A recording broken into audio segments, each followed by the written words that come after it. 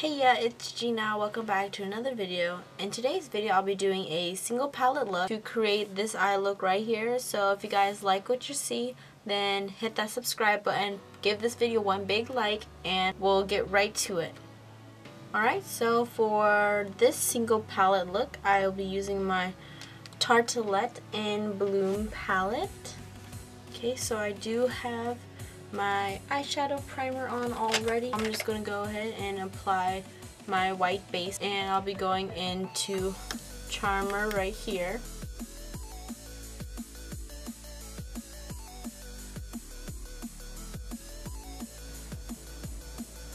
I'm going to go up to the brow bone.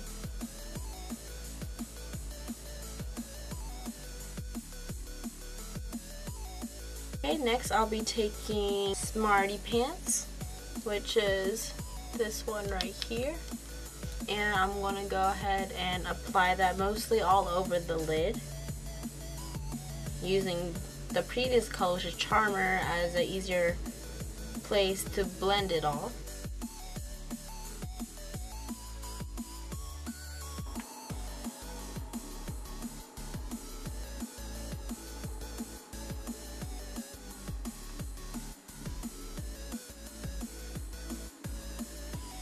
So using the same brush, I will take the color right here, which is called Rebel, and I'm to put that on the outer corner and inner corner of my eye.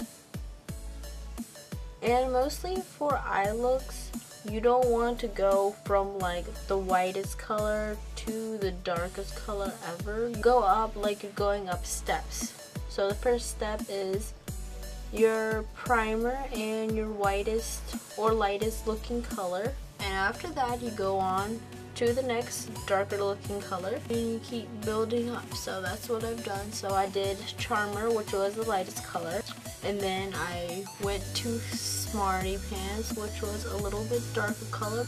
And next I'm doing the third color up which is Rebel.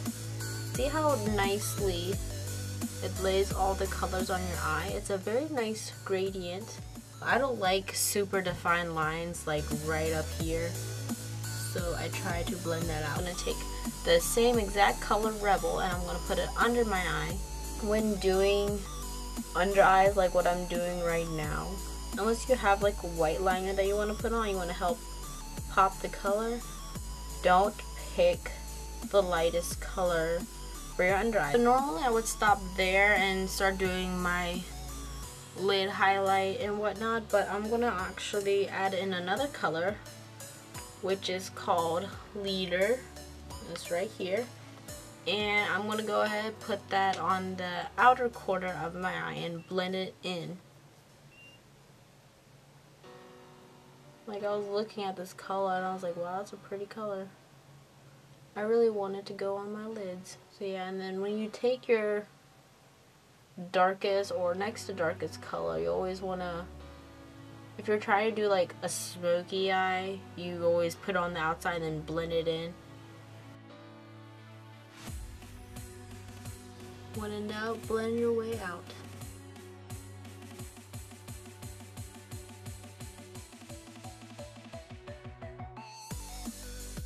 Next for this look, I'm going to take Firecracker, which is this color right here. And I'm going to use that as my eyelid highlight. Like shimmers or stuff, I always like to use a packing brush so it can pick up everything. And I'm going to leave my inner corner open for the inner corner highlight.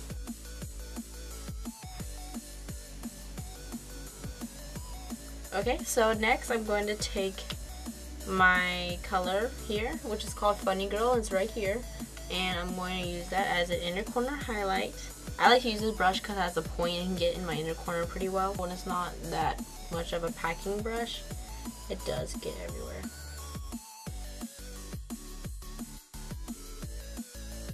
I got some of my contacts. Oh well.